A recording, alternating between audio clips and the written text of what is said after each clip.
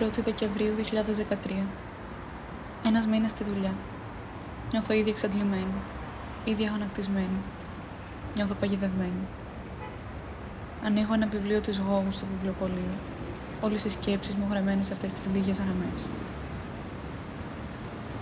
Αυτός εκεί, ο συγκεκριμένος άνθρωπος, έχει μια συγκεκριμένη ζωή, με συγκεκριμένες πράξεις.